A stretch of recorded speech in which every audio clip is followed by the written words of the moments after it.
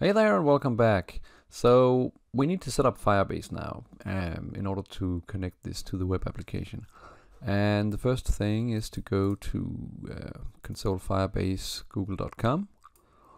and uh, you need to have a Google account. And then you click on add project. And then it's gonna say what should the name be here? So we type in firebase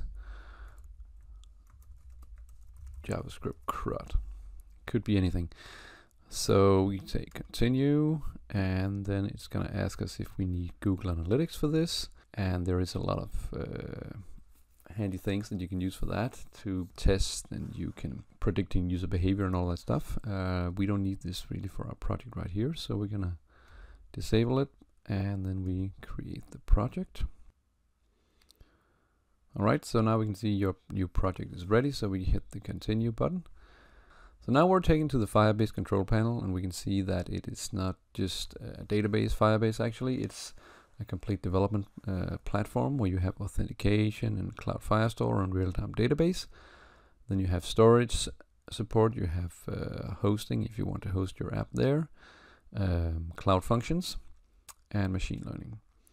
But the first thing here is to go to the settings uh, icon here and go to project settings.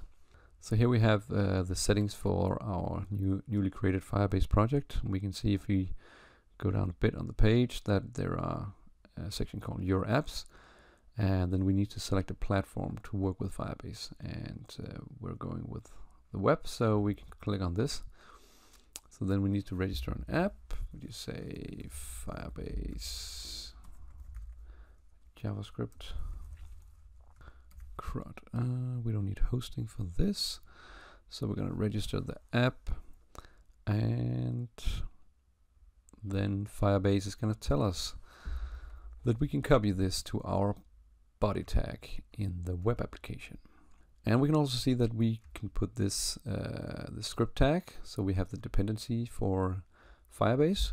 Uh, we can copy that and put this into our uh, web application. So we're going to put this into our application right here. We have Firebase and uh, it only says Firebase and the app.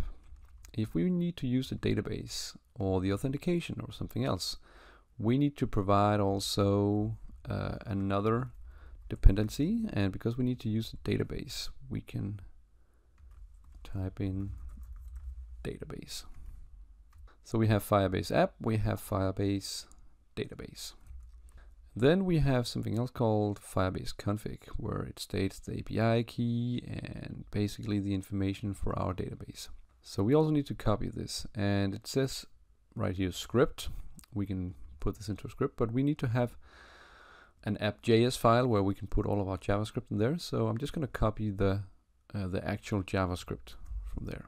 So we go back here and we create. I'm just to open the folder here. I'm to create a new file called app.js.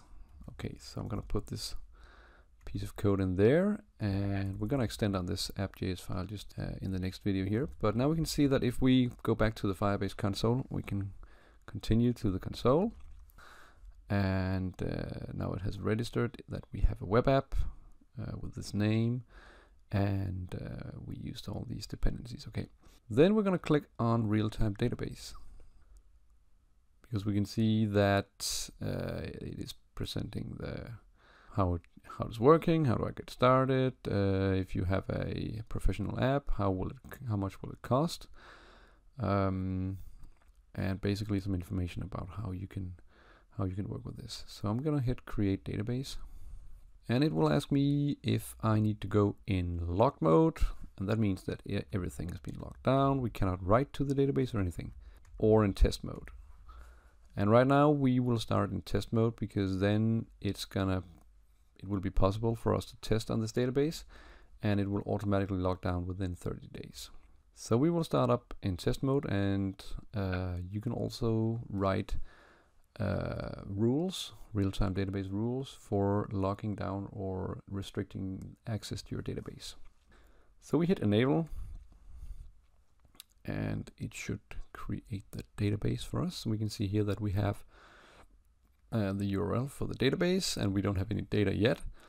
Then we have rules where we can create uh, real-time rules uh, to restrict the database. Um, we're not going to do this right now, but uh, the database should be set up for now.